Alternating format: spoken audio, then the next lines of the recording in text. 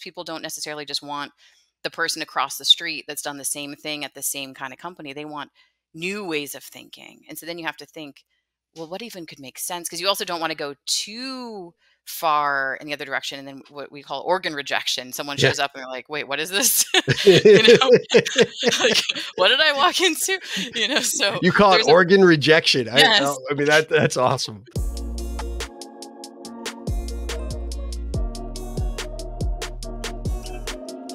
Guys, I'm super excited to introduce you to Somer Hackley. Somer and I have known each other for a number of years, and she's someone that I'm excited to have on the Ripple Effect podcast because I want to celebrate her new book, Search in Plain Sight Demystifying Executive Search. Somer has been in this executive search game for quite a while. She has a list, a laundry list of clients that have really loved working with her. Her firm, Distinguished Search, is really changing the way that people look at career transition. And I think with her book, one of the things that I was most excited to dive in and learn from her today is the fact that this industry has changed and how you go about finding really what work you are passionate about and how to where you want to go invest your time and energy and your effort and to make it in alignment with who you are as an individual to do the kind of work that really really floats your boat i think is really critical and so i know that she's going to give us some great insights there and obviously since covid the, the, the whole transition the whole change that way that we go about finding work the way that we go and look for the possibilities of what a career transition might look for look like for us is really important. So i'm excited to dive in. Plus she is a really really great person. She is someone that has a unique energy and enthusiasm. She's passionate about the work she does but she is definitely a rippler. So i'm so excited to get engaged in this interview and in, in this conversation. And with no further ado, let's dive right in. Guys, I am super excited to have Somer join us today for the Ripple Effect podcast. Somer, how are you doing today? I'm great. How are you, Steve? I'm great. I'm I'm excited to ripple with you. I mean, we've been trying to put this together for a while, so I know. No, thank what, you for the invitation. I love your podcast. I'm so happy. Oh, thank you here. so much. I appreciate that. It means the, the world to me. I would I sort of said in your intro like you're somebody that has such enthusiasm for what you do and you you bring a certain energy and I'm just excited for my you know, my folks to hear you and to learn about your book and everything you great that you've got going on today. But one of the things I always like to do to start off with is kind of get an origin story like a little bit about how you got to where you are how how you became this awesome person that you are uh, today. So maybe just give us a little bit of background if you don't mind. Sure. Well, Thank you for that. I feel like our energy will feed off each other. So that is awesome. Uh, so, yeah, I grew up in New York and then went to DC and Dallas for a year. And here I am in Austin. And I just absolutely love it. Been here since 2019 and I started my career 22 years ago, which is kind of crazy to think about, but uh, it's okay. Um, and I've been recruiting that whole time. I started my own firm a month before COVID. So that was interesting timing. I didn't know the pandemic was going to happen. It's all is good in the end. Um, but yeah, I started out in contingency, then went to retained, and uh, then went to a boutique, still doing retained, and here I am. So, uh, and I'd say recruiting mainly like VP plus, you know, okay. a lot of C level, a lot of VP, sometimes director, and mainly tech roles, but a lot of cross industry sort of movement, you know, versus musical chairs. But I've I've done honestly all kinds of things. So, um, well, so how did you how did you pick this as a career path? Like, you know, I mean, what what was the inspiration behind wanting to be a part of that sort of that search process? Yes, and there are no uh, majors in recruiting, right? So uh, I majored in economics, actually, of all things. I thought math was fun and probably looked looked good. It looked like I have a brain, you know, when I graduated. Um, but uh, I, you know, I went on a ton of internships, and then someone told me you should go into sales, and that just blew everyone's mind because I was not, um, definitely wasn't as confident 22 years ago or 25 years like college is awkward high school is yeah. awkward and um, i was like interesting but i liked the idea of what you put in is what you get out and i was like i can do it. And so i interviewed for every single sales job i could find on monster.com back in 2002 and one of those was recruiting and it really just spoke to me. I'm like that's interesting. We can i can get behind the people aspect versus yeah. all the other types of sales jobs interviews i was going on and then i was just hooked. So that's how i found it ultimately was just the epiphany of sales and then just interviewing for every single sales job I could possibly find. I love that. So what motivated the move from, you know, New York to Austin? Yeah, so I went New York, DC, well, I guess New York, Virginia, DC, Austin. And so I met my husband at the time we weren't married, but I met him in Virginia. Then we moved to DC together, and then he just came to me. He went to UT here, Okay. and um, and he was just like, "Let's get out of here." I'm like, "Okay." He's like, "Where do you want to go?" We made a list. It was Austin or Chicago. Chicago is just very cold. I do Yeah. love it though, and uh, he's like, "Let's go to Austin." I'm like, "I'm game. You know, let's do it." And so we just moved, and you know, he ignited his job search. He found a, a position here, and so then yeah, we just we just showed up, and I just coincided the timing of I I'd honestly been telling work I'd been wanting to start my own thing for like three years, and Yeah. so with the move to Austin, I'm like, you're right, I'm just doing it. I'm just gonna hang my shingle. So so yeah, but it worked out. I love it here.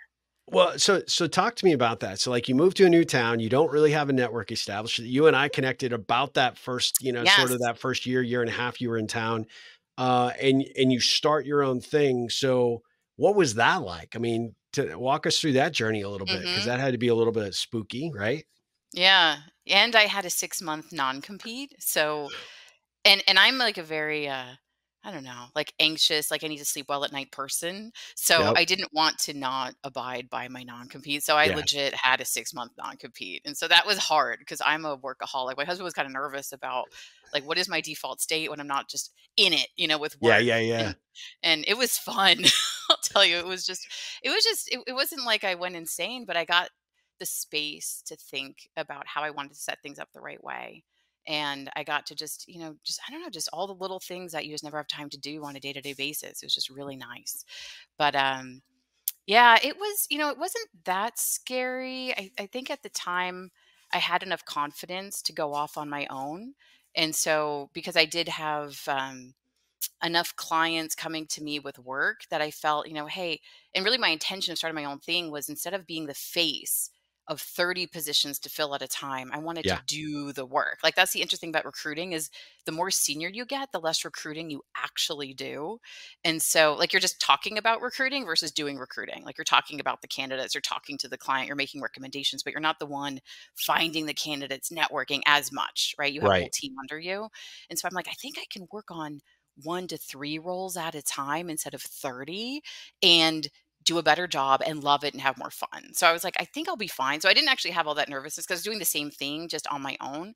Um, and I felt a little unleashed, to be honest. I don't know why I didn't do all the things I'm doing now before, but it feels different when it's me and my Well, you're an entrepreneur now, so it's just Yeah, different, right? you know, it is. And and you know, kudos to you back in the day because you were like, "Have you thought about posting on LinkedIn?" I'm like, "Huh." Like up until then, I really just kind of share, like, comments, you know, but I didn't really just say, "Here's what I think about this thing," or "Here's what you here's what I recommend you do." You know, I've talked to this person in this situation, and you actually gave me some ideas for those first posts of like what to even post about. You're like, "What what do you think about starting your firm or what challenges you're facing or why did you do this?" I'm like, interesting. I hadn't really thought about that. And then it's just, it kind of just is a flywheel on its own. So that Yeah. was fun. And then making my website was fun and thinking of my value prop, like what, what is it? And that was fun. And, and then I started my video series and now, and then I wrote a book cause it was, it was COVID a month after starting. And, uh, I had all this momentum, all this, like, Hey, I'm ready. Let's go. I'm open for business. boom. Boom. Like we can't hire now. Like it's a pandemic. Everyone's home. We have no idea what's. I'm like, you are correct. I will back off.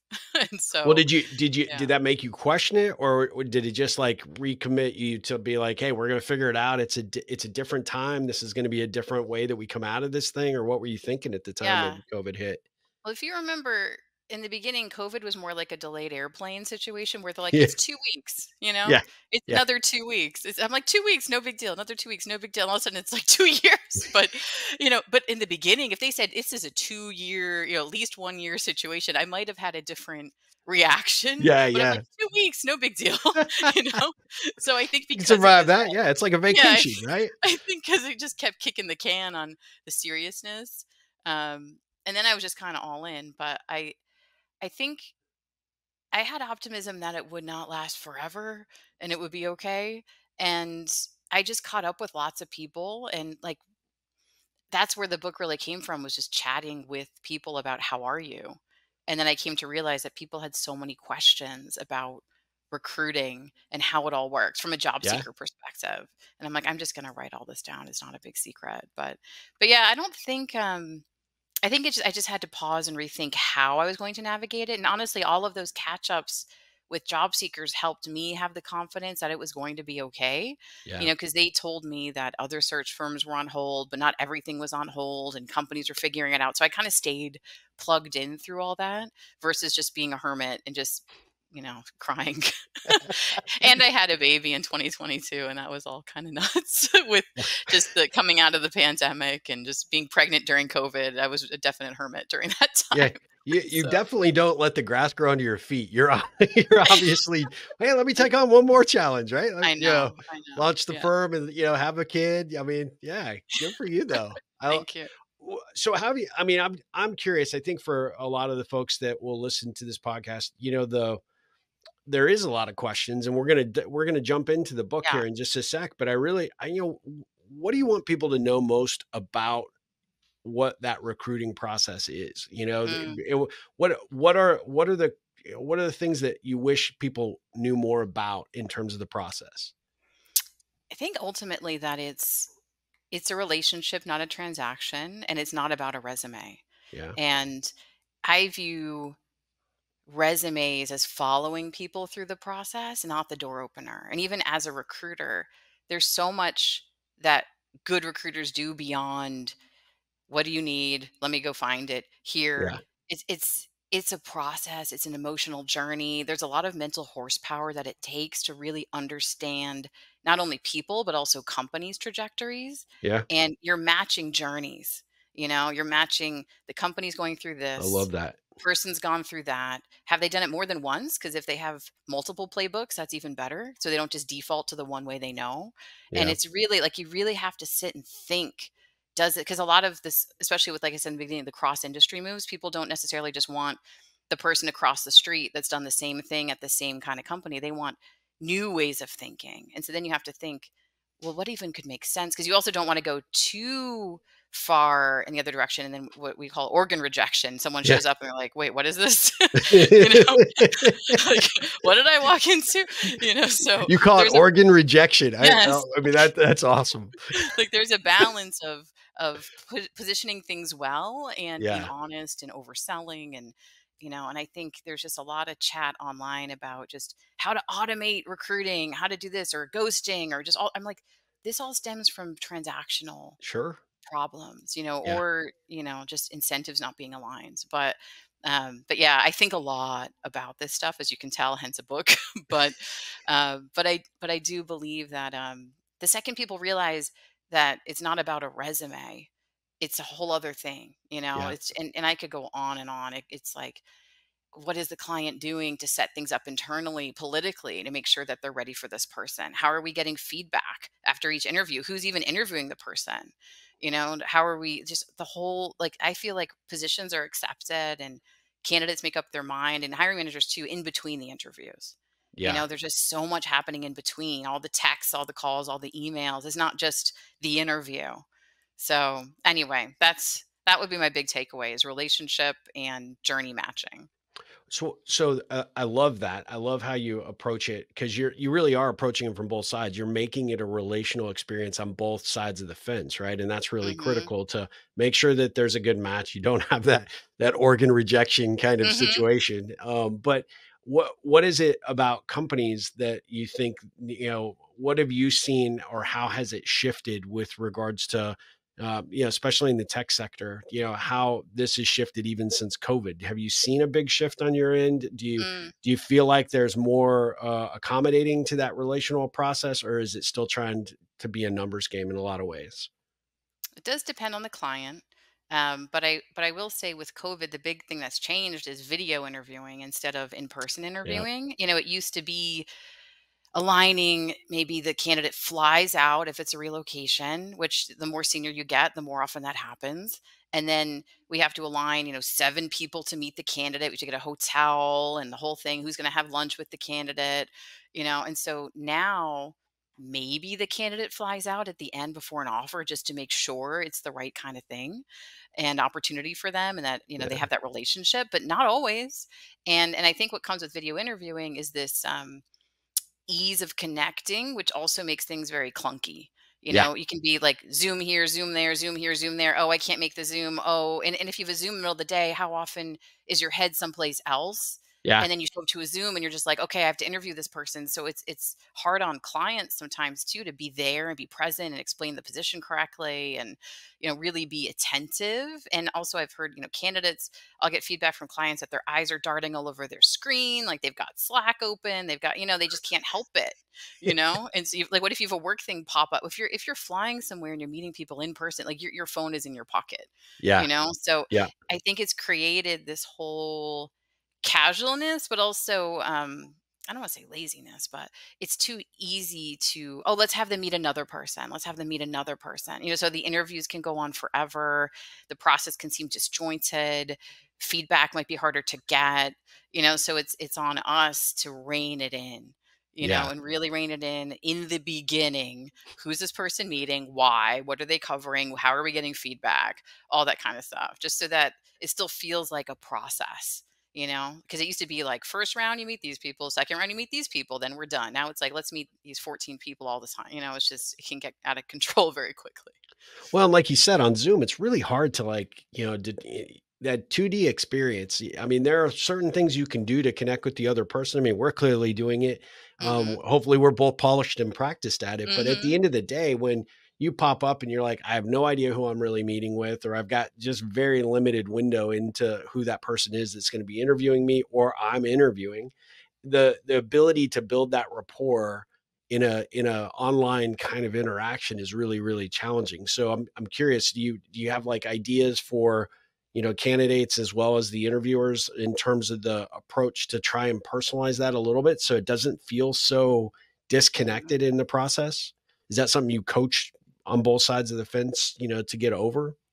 yeah i think that what i see works is the um we open up lines of communication between the candidate and the hiring manager before offer so they can Yeah. text they can call each other Oh. you know maybe it's not just because that they, they usually have that first interview yeah. and that's very much an interview but then you still need to want to work for this person and you want to also make sure that they're the right person for your company and so i'm like just text each other just call each other just have that rapport so that you can get all your questions answered before an offer comes out. You don't want the offer to come out and then say oh i have these 10 questions. Like that's that means the offer came too early. Yeah. so i'm happy to have people just stay in touch and be in touch you know once we start getting down the line and you know and i think for you know good recruiters will have calls in between interviews with candidates and kind of play that therapist you know Yeah. it's it's an emotional decision and so if a candidate's raising concerns or anything it's up to us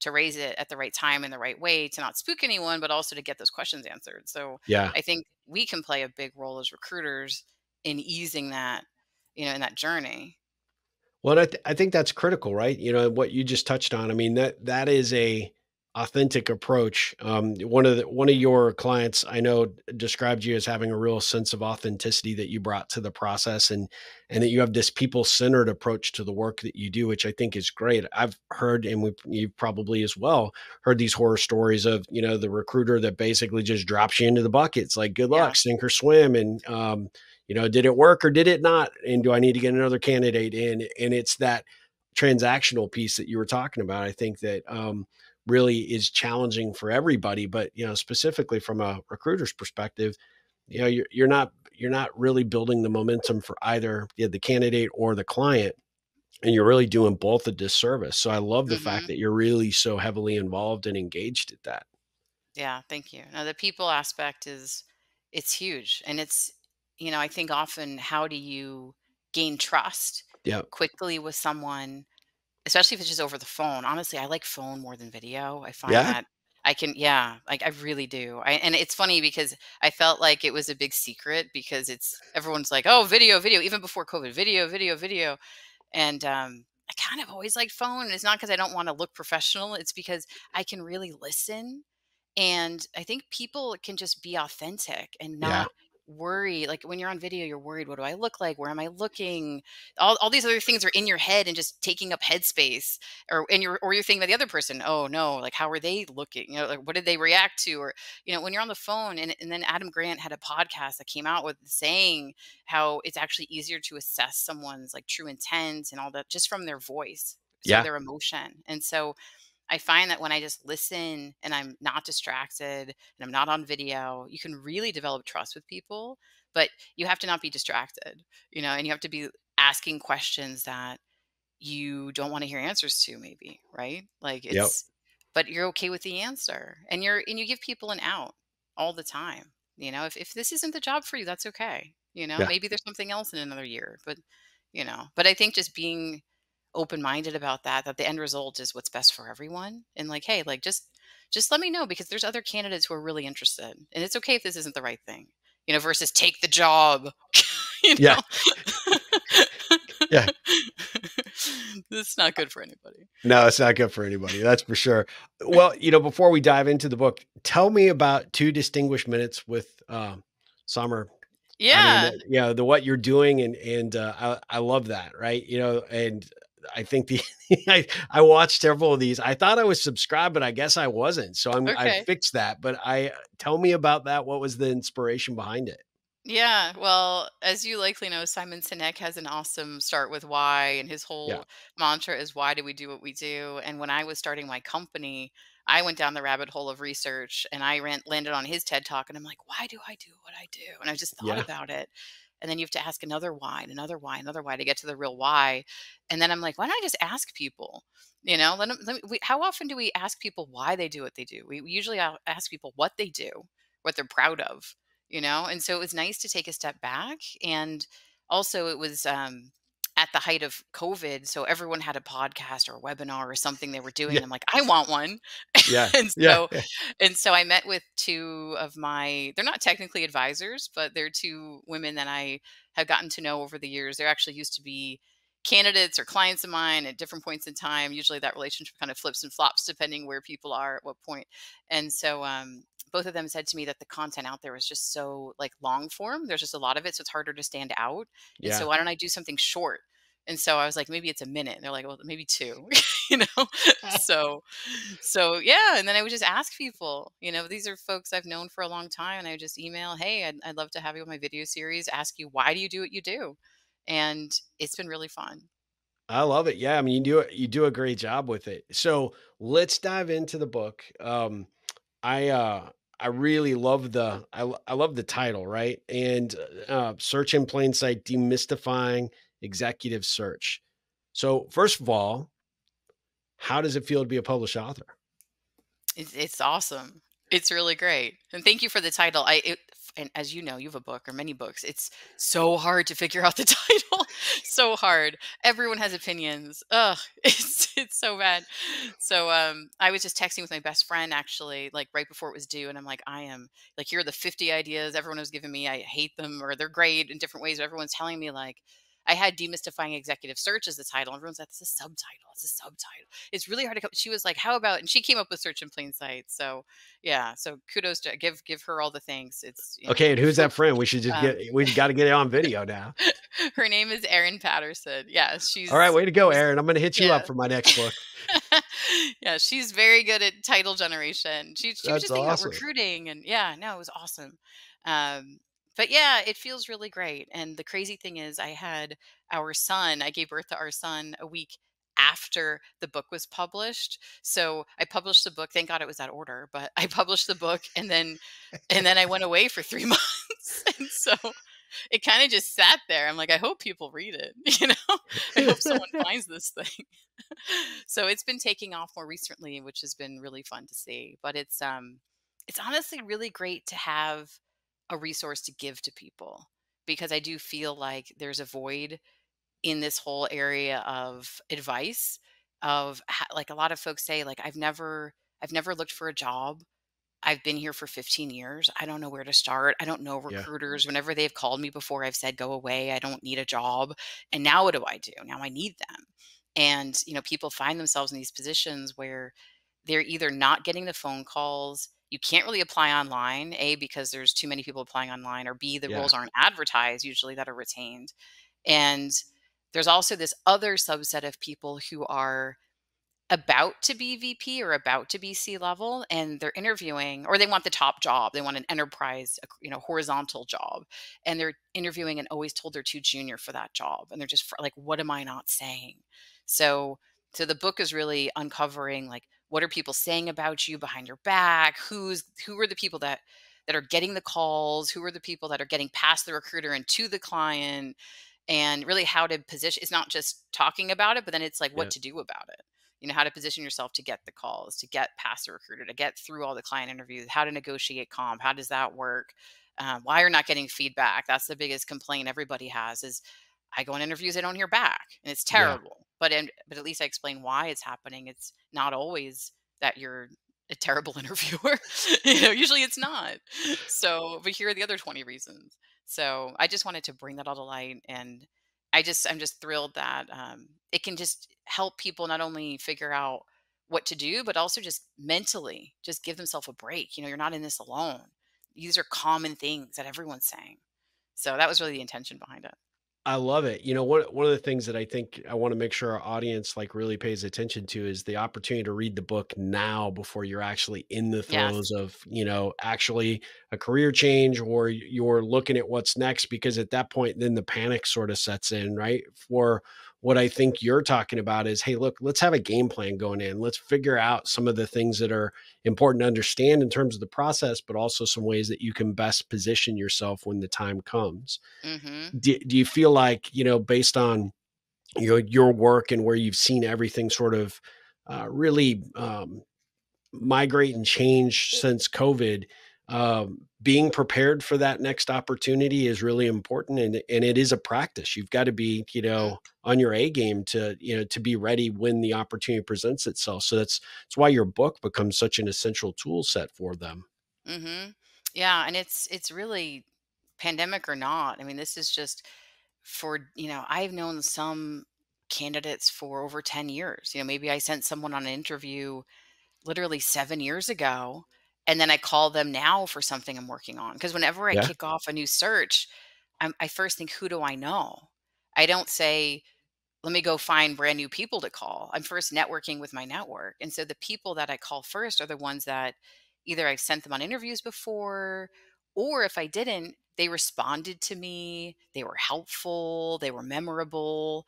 They presented themselves in a way where I'm like, I, I, that's, that's someone to know. That's someone to know. You know, so the people that are kind of getting those calls, they're the ones that they realize the value of always talking to recruiters. Even even sure you say I'm not looking, you know, so it's it and it can be it can be 10 years later. It's not just, you know, oh, I took a job, so I don't need to talk to you. It's like, yeah, I yeah understand that, but you know, it, it's whenever I and I find that um the more junior the role, the more often people don't value that. The C level people will generally talk to you. Like if you say, "Hey, I have this other C level role," they're like, "Absolutely, let's chat." And they'll say, "Yeah, it's not for me, but you know, I might know someone." But the the as you go more junior, they're like, "Recruiter, get out of here," you know, and and that's a shame for them, right? yeah because they won't be thought of in a month or in three months or in five years for something else. I always tell the people that I work with the best thing you can have in your network is a recruiter, right? Because at hmm the end of the day, you were looking for a job when you found this one. And just because you're not necessarily open today to change, hmm the circumstances shift rapidly. Um, you know, you could you could find yourself, you know, sort of unsuspecting, you know, a victim of an unsuspecting layoff, or you could find yourself now working, you know, with a, you know, a new manager that you just don't get along with, or or you've got a team that's just not the right fit any longer. And I think especially through COVID, I think the the great opportunity is a lot of people are reevaluating where they are and where they want to spend their hmm time. And I think, uh, you know, and you mentioned that, like the, that one person that has been at that job for 15 years, you find that people get complacent on a, a number of levels. Not, o- not only, you know, do I not update my resume with, you know, regularity or have someone like yourself review it so that it's, you know, crisp and sharp and, and relevant to what is happening out there in today's market, but also, just in terms of the network that often people Mhm. people find themselves no longer putting effort towards or building. You and I know a, a company in town that you know goes through a, a ups and downs in terms of the technology play uh, space, um, but people get laid off all the time and then realize, well, my only network was inside this corporate wall. I don't have anybody outside, and so it becomes such a huge challenge for them. And then where do you start? I mean, especially in a situation like that, it's like, you know, you're pushing the panic button, but there's nobody there to really, you know, answer the call for you because you don't, you haven't done en- enough to build that relationship. Yeah. And my advice of to the people who are listening and like, shoot, I have not, I've been that person. I have not Yeah, responded to recruiters and now I'm looking is it's okay. And the few things are just I would honestly say just stop going online and and cold emailing as many people as possible the same exact message because it's just soul crushing and so much of job hunting is confidence and positive thinking and if you don't have that optimism and confidence like it just comes through. And sure. so i would say just just maybe do 20% of the time like oh i looked at job ads. 20% no more no more. Don't spend every day wake up let me go online. Same ads oh no you know so what i would what i would tell people to do or advise people to do is start with your network as you talk a lot about and it's the ripple effect right? It's people know people know people and your network knows recruiters who placed them in that role like call someone who's in the job you want. Who placed them in that role? Or what interviews did they go on through what recruiters? Can they introduce you to those recruiters who sent them? Because there's so many recruiters out there it's not just the brand name Yeah, firms. And yeah, so finding recruiters that are in your space through your ex colleagues is a great way because then you get referred in, you know that they're working on positions that interest you, you know they're a good person, and at least igniting your search that way. And then you're catching up with people, you know. And I'd say the second point to that is be ready for those calls and re- remember the matching journeys. yeah, And it's all about journeys. So knowing where you add value to the next place is is critical versus let me tell you the 50 things I've done since you know since 22 years ago when I graduated college. You know, it's really based on everything I've done, here are the 3 things I'm really good at and just summing that up. So when someone opens a role, they're like, "Ah, I know who can do that. I know exactly who can do that. This person, they said they do this. They bring companies from there to there, or they do this and that.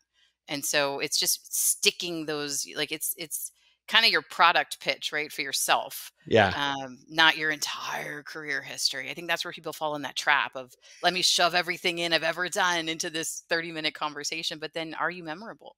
Will anyone think of you for anything?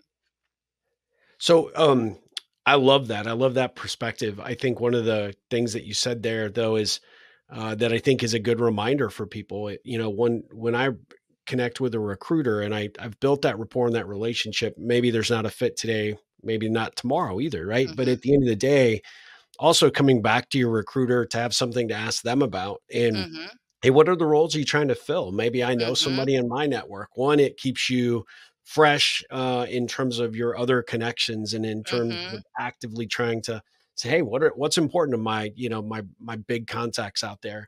But then if you can create that sense of Yes. commerce, right, for the recruiter and and a friend or a colleague, um, you've really done something significant. And I have to assume that the recruiter is going to think kindly of you every single time, right? That there's Yep. an opportunity that's a good fit for you. 100%. Yeah. I, I talk a lot in the book about being a giver, and, and I quote a lot of Adam Grant in my book and just approach. And, and people also feel that being a taker feels, ugh, you know, when you're Yeah, emailing someone, hey, I'm still looking. Hey, do you have yeah, anything? Hey, how how's it going? Anything new on your desk? It just feels ugh. But if you're like, "Hey, I'd love to chat with you about what you're working on. Maybe I know someone." Right? You're yeah. you're approaching it as a giver. "Hey, I'd love to tell you what I'm seeing in the market and the trends I've been seeing this quarter."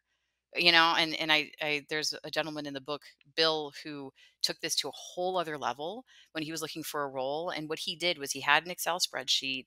He kept he asked every recruiter the same 7 questions. He wrote down answers and then he told all the other recruiters what other recruiters were saying and it was so awesome. He was, you know, Yeah, he told me like, "Hey, I talked to these recruiters and they said this about the market. This is the types of roles that they're seeing picking up and this." I'm like, "I want to talk to Bill." Yeah, Bill knows what's happening. Like and he's telling me really cool things that I can't just find online. I don't know what's going on, you know. So it was so awesome. Like stand out, right? So being a giver, like creating your own knowledge base that you can provide, you know, job seekers, you know, all kinds of things. And it just feels great. So, yes, 100%. There's so many things that rather than, will you review my resume? It's Yeah. just different. It's a different conversation.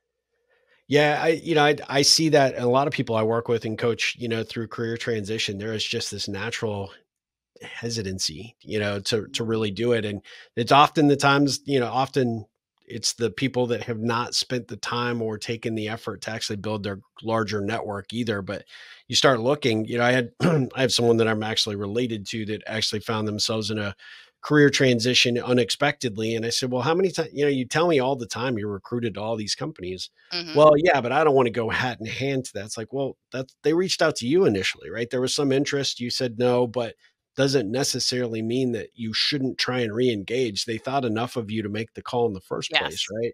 And it Mhm. was actually a, one of those reach outs to the person that they were.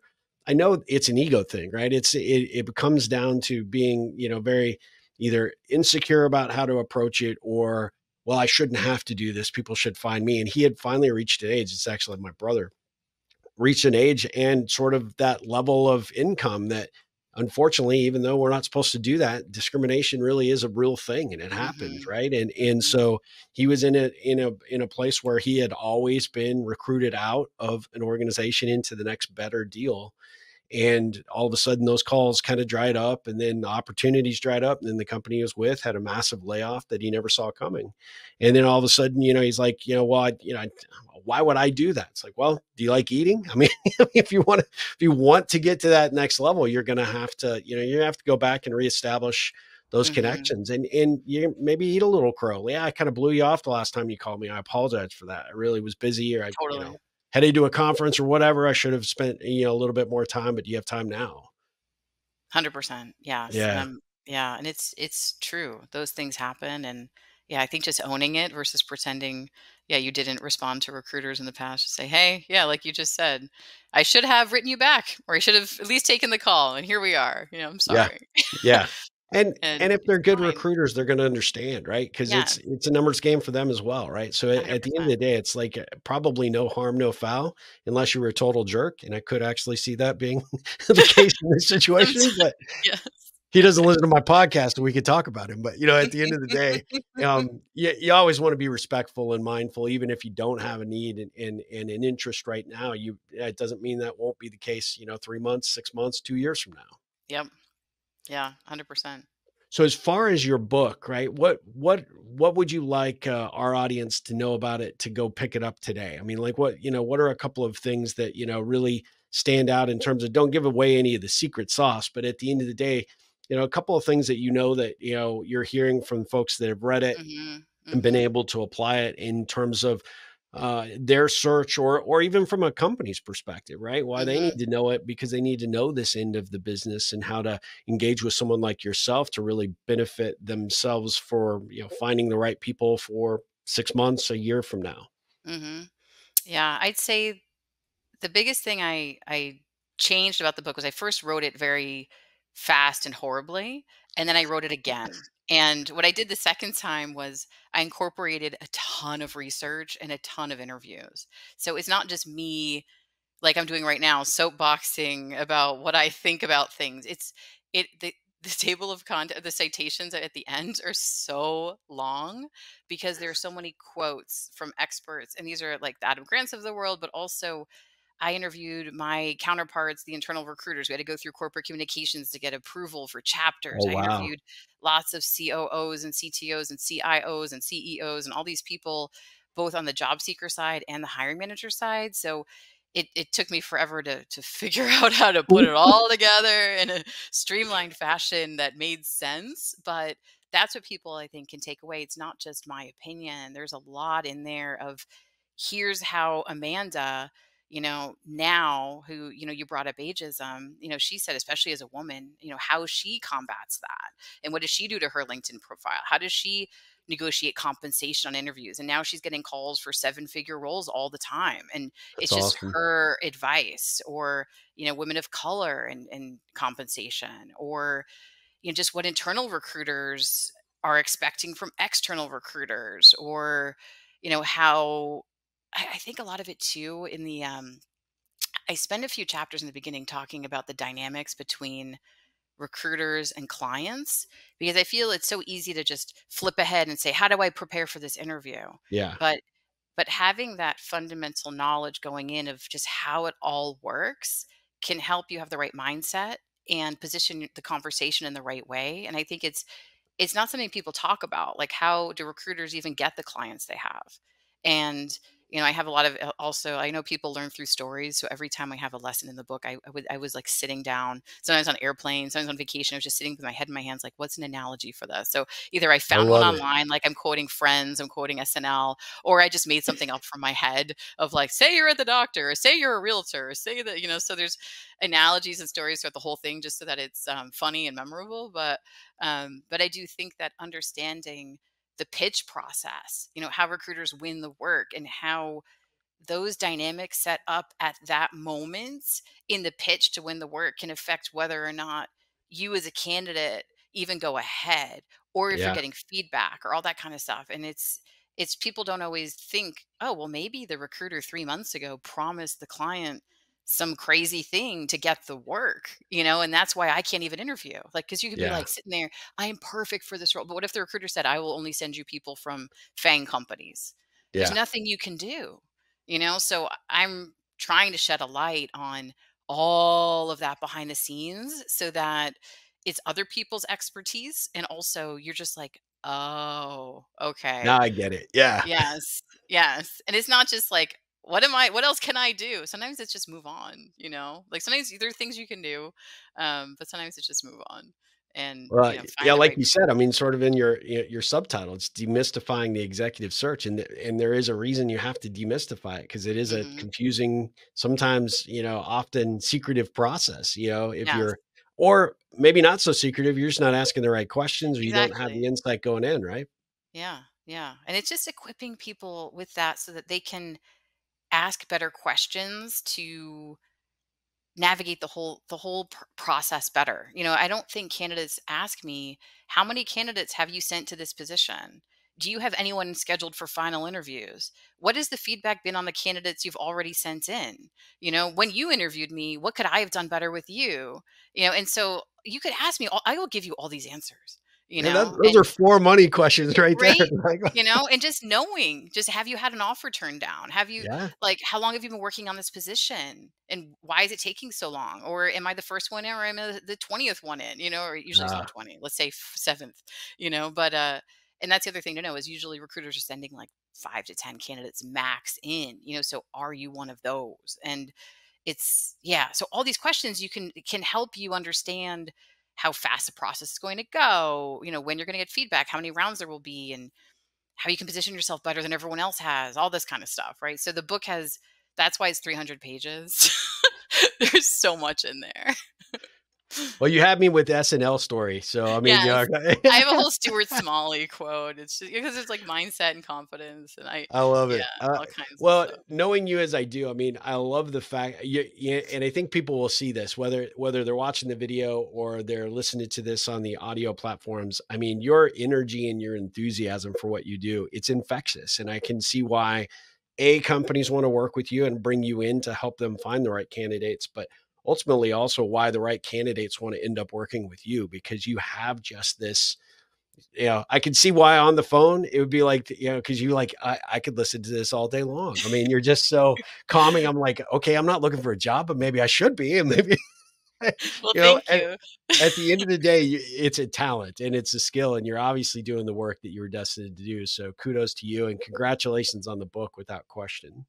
Thank you. We, I do we'll have the audiobook. Uh, I was going to say, if anyone wants to listen to me for seven hours and thirty minutes, it's. I think that I, I would. Yeah, I would encourage that. I think that would be. I think it would be great. I, it was a. I I know if you went through the process I did to record my book in audio form, it was a lot of fun because you could actually expand upon it a little bit. You can add some personality, and the the written word's the written word, right? But you know the audio platform gives you a lot of flexibility to kind of do that so i, I think people could easily listen to you for seven plus hours no problem. I hope so I, I, I'm just saying. I'm just. I'm telling you. You, you, you you've got a skill. So, at this point of the um our show, what I always like to do is like shift into Ripple mode for a little bit and actually ask you some Ripple specific questions. No, no gotcha questions, but really questions that are kind of fun to ask, fun to answer, and give people just a little sense of you as an individual. If you're cool with it. Yeah, go for it. All right. So, what did the seven year old version of Somer want to be when she grew up? I think I wrote this in my like I have, I have all these old journals in here. I think circus clown. I think probably because I was going to the circus a lot at that point. Circus clown. Okay. As a kid, my dad would take us to Barnum and Bailey in the city. So I think I did write that down for a moment. And then I went through all my other, you know, but you're a kid, you don't really know what you want to do. Yeah. Yeah. so seven, sure. I'm going to go with that. I love that. That's a good one. If you were doing what you're doing now, which is being a kick ass entrepreneur, what would you be doing? Mm. I think I'd probably be a teacher. Ah, Probably. Um, yeah, I because I remember when I was in college, I was asking people about teaching and just sales. I just I love. I am a very uh, carrot and stick person with commission. So yeah, so that drew me in. But I That's great. Yeah, love it's definitely no carrot and stick, at least on that end for a Yeah. teacher, right? Yeah, I I- but I love it. I love math. I love teaching. I used when I babysat, I used to always, you know, teach the the little one math, through the library, and, and I was majoring in economics at the time. So her mom was like, "This is amazing. If you can teach her a long division, that'd be great." Thank you. Yeah, that's awesome. And you being, you know, carrot and sticks, like, well, hey, look, you know, you know, uh, pay me a little more an hour. I know, right? Exactly. That's all. So Oh, that's funny. yeah. So, what would you consider your superpower aside from your math skills, which sounds like they're no, they're gone. That was so long ago. um, now we have Google. um, I would say the ability to disarm people and connect with people pretty quickly. And um, my husband has that too, honestly, and and I noticed that about him immediately. But people just tell me all kinds of things, and they'll say like, "I don't know why I'm telling you this," and like, so I, I just think I have this uh, I feel funny like talking about myself that way, but like I just feel like I have this extreme empathy for everyone and whatever situation they're going through, and the ability to ask a question and really listen to the answer and try to get to the bottom of of what's going on. And I've been through a lot, and I feel like there is some value in um, having depth in what I do, you know, in terms of like life. And, you know, because candidates are going through stuff, whether or not you take a job is it's not just about the money or the job. It's Yeah. about family. It's about whatever situation you're going through right now. And a lot of people either, you know, and now I'm a mom too, so I can add that in. You know, so I do I can talk about my son all the time and all the things that come with that. But yeah, I do think there's um there's something there where people just tell me stuff and I love it, you know, and, and you have to be careful with that, right? Because you can um if you were a bad person, you can use Yeah. that to your advantage. But Yep. you know, I I really care about the long-term success of everybody and I think people see that. That's what makes you a good rippler, I think, really, at the end of the day. I mean, you are definitely that. You're somebody that's committed to whoever's in front of them. If you can add value and contribute to them in some capacity, I think uh, that really shines through for a lot of people. It definitely does for me, for sure. Um, who inspired you to be the person you are today? Hmm. I have to say my husband. He's the best. He's just the That's best. good. What's your husband's name? Yeah. We'll give him a shout out as well. Yeah, Steve. Yeah, Steve? he's Oh, awesome. great name. Yes. I know. I was going to say it's it's the same as your name. um, yeah, he's he's just. Uh, I met him through a whenever, not whenever, like twice. The two times I've moved to a new city, I started up a meetup called Table for Six. This was Oh, I would have kept it up, but then COVID. It's basically how you get COVID is eating with strangers in a confined space. You know, so I was like, this. But um, but maybe I did anybody actually check you to make sure that you didn't start COVID? I know. Right? It's like let's meet, let's eat with people we don't know and inside and you know small space. Um, no, I, mean, I I don't could think have, you told me about this. This is yeah, I, cool. I Okay. could have had it in Austin because we were such an outdoor space vibe Yeah. to Austin. But I do think that having a reservation and being forced to sit down and eat with five strangers is awesome and and and it was like this group grew to 900 people in dc like it's interesting how many people want friends and and and the problem with being i was there was no group for me meaning like i wasn't trying to find a date i wasn't into any particular sport i didn't i didn't have a thing i was like i just want to make friends like i you know and so i said if you're single if you're married i don't care what age you are anything just That's here this awesome. is it's dinner you know people would email me there's or meet up message me like hey can you segment the tables by age i'm like no there are so many like 20s only or whatever's only Yeah, like do that you know go do Yeah. that like this is not this is you might eat with someone who's 65 you might eat with someone who's 20 it doesn't matter and so it was funny because steve came to the first one i hosted in um in virginia and i he's so friendly and like the kind of person that always makes sure that and I like tables of 6 because it's easy to have one conversation. Once it Yeah. gets to 8, people start branching off, you know, and they still do that with 6, but you can rein them back in. Yeah, yeah. Um, but since that's why I like 6 versus the long tables. And so I noticed that Steve would always make sure to include the non-talkers and Love just that. you know, and just keep it. And that was just his natural state, and that's mine too. And so I would never sit with him. I know, and I set up the seating chart in advance, so I would never have him at my table because it was like a waste of us being together. and so, and I finally told him that after we were married, I was just like, I never had you at my table because we're both so good at including everybody, and I need someone like I need to designate people. I'd have like five tables of six at the same time at a restaurant, and so I'm like, I need to to scatter the good Yeah. people around to make sure that everyone's having a good time. so anyway, but um but yeah, I would say just he embodies that. And That's so awesome. just that kind of empathy and being a giver and just, you know, loving life and all of that is makes me a better person to who I am That's today. great. I love that answer. That's fantastic. Plus, he's got a great name. Let's just be honest. He I does. Yes. yes. And our last initial is H also. So yeah. Oh no, yeah, yeah, that that uh, that would be true. Yeah, that's yeah, that's fantastic. What's the best thing about being an entrepreneur? I can like I said in the beginning, I feel unleashed. It's just Yeah. like I can just do things that and just kind of test things out.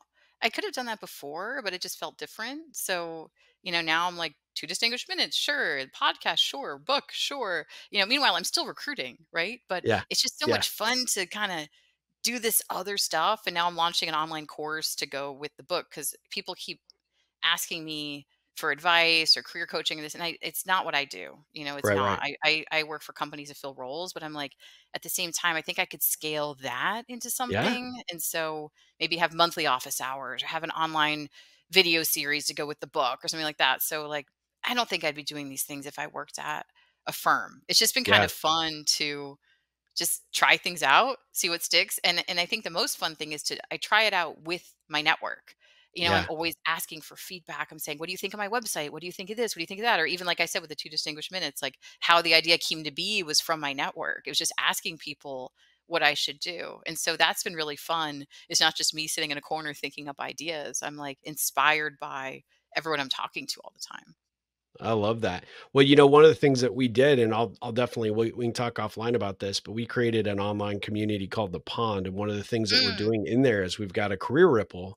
So love to. We're definitely going to Cool. feature this this episode when it goes live, but we'd love to have you come and even maybe present at some point on I'd on the to. course because I think uh, all of our ripplers would really benefit from that. And yeah, and you know this as as well as anybody, right? You know, we create it as an opportunity to try and create connection between employers and um, those that are maybe thinking about or are in the midst of a career transition. Mhm. And it's such a lonely, isolating, you know, experience, right? So trying to create an opportunity, much like your dinners, right? Try to Mhm. get people to talk and engage because you never know where that might lead and what kind of opportunities might um, all of a sudden be obvious and present themselves. And so I think that uh, we'd love to have you engaged in that in some capacity. So we'll talk about that for sure. Perfect. What um, two final questions? What does the ripple effect mean to you when you hear that term? Yeah, I mean, I just I truly feel that magic happens when people talk to each other and you never know. Like I I think a lot about people's fan clubs and it's I think there's so often people chase they try to create a new fan club, you know, like trying to meet new people, which is fine, but for me the ripple effect is you have a fan club. Like you're people are cheering you on and you may not even know they are. Like they might be someone you talked to 10 years ago. They might be someone who's just following you online or like they're just they just want you to win because you made an impact maybe once. And if you connect with them or catch up with them, who knows what doors would open from that conversation. absolutely. And and that's what I found was start starting my own firm is you know, it was very tempting in the beginning. What I did was I'm, I'm in Austin. I should try to get into all these Austin companies. And I was I, I had to stop it. And I was like, you know what? I have a fan club. I just have to go remind myself of that and find them. And then Yeah, the second I started catching up with people I already knew, doors opened. And you know, maybe I shouldn't ignore Austin, and I don't want to. I, I'm thrilled. I'm starting to now that you know I'm getting invited to speak at things. I'm thrilled to start creating my Austin network. But I, I really haven't done that as much as I should have been. I mean, book, baby, COVID, all the things. But also, like, I just haven't been. a few things uh, going on. Yeah, all the things. yeah, but um but yeah I, I do think that just people lead to people lead to people and it's it's unexpected sometimes who is cheering us on until we actually go around and, and reignite some of those relationships yeah. I love that. I love that. Yeah, and, and what a great definition for sure. Well, last question is, what ripple can I create for you? oh well thank you for that well you talked about your community so that would be cool Okay. um Yeah, I mean, clearly, if if anyone, if you know anyone who's ever looking to hire an executive, you know, that's the world I'm in. Mainly, Okay. I'd say technology, product, digital, data, security, operations, like that world. Um, but also, yeah, if you know anyone who's excellent, who's looking, keeping their eyes open, um, happy to chat. And uh, yeah, and thanks for sharing, you know, talking about the book today. I think that that alone is a ripple in itself. Absolutely. Well, I'm, I'm a big fan. I actually do have somebody I will refer you to um, very soon. I think that could be a good fit for your services. And what's the best way for people to connect with you? You know, follow you. What? How do you want people to, you know, engage with you? Yeah, I'm I'm a recruiter, so I love LinkedIn. That is that I was my gonna world. say, yeah, that's Yes. that'd probably be number one, right? yeah, so I'd say find me on LinkedIn. I I'm an inbox zero, in mail zero kind of person. I will I do read and respond to everything. Um, but yeah, connecting on LinkedIn I think is really great because then we see each other's activity. We stay on top of mind with each other. Yeah. Um, emails tend to be great because they don't get lost, but also Yeah. I get so much email. So I Yeah. I do like connecting on LinkedIn. I think it's a nice way to to stay in touch with people. Absolutely. Well, we'll we'll put a link to your LinkedIn profile in the show notes for sure. And then the book is on Amazon. Yep. Can they get it through your website as well, or is it just you know exclusively through there, Barnes and Nobles? Where where where would you like to send people to get the book? Yeah, on my website, it's just a link to Amazon. Okay, yeah, I'd say Amazon Audible now, which I'm so excited about. Audible. Um, Yeah, awesome. yeah, I know. It's it's like a weekend. So yeah, I'm excited. Oh, it's a oh, it's that new. Yeah, fantastic. yeah. No, the um the recording was due February 15th. They're like, you cannot kick the can on this any longer. It's been two years. like, I have a baby, so I'm sick. Now I'm sick a week a month because he's in school. You know, it used yeah, to be yeah, every other week. And so the yeah. first three chapters, you won't know this, but I was so sick. and Oh, I'm like hacking and dying. And so they they like got like all my tea swirling and coughs out of the first three chapters. And then I got because they were like, this is due February 15th. Like they had a fine on me if I they did got to not get it going. I was like, but I, I have a I have a toddler, and I'm like, we're always, you know, kids bring home all the things, Oh so yeah. it's hard to find like a three week stretch where I'm not coughing. It's very hard. so anyway, it's now on Audible. That's It, I just finished, just got it done. So Well, yeah, you'll you'll you'll you'll be immune by the time you do the second book. So I know, right? No, no, I'm done. One book, one book. It's a lot of work. yeah, it is a lot of work. But well, uh, congratulations on everything you got going on. I am so excited for what you're doing today, where the future lies for you. I mean, it's it's great. I think everybody that has tuned in today will absolutely benefit from just what you do and how you do it and just a little bit of pulling the curtain back and helping us really truly demystify the process and i encourage everybody to go out and get your book i encourage people to you know to link you know connect with you on linkedin and you know just continue to learn from you i can't wait to learn about the course and see what we can do to support that as well because i think that sounds like a fantastic idea Thank you. And likewise, thank you for having me on. I'm just grateful to be a part of this and one of your distinguished guests on your side. So thank you. Thank you for the Well, invitation. Uh, I appreciate that so much. Guys, we will be back again with another episode of the Ripple Effect podcast. But until then, ripple on.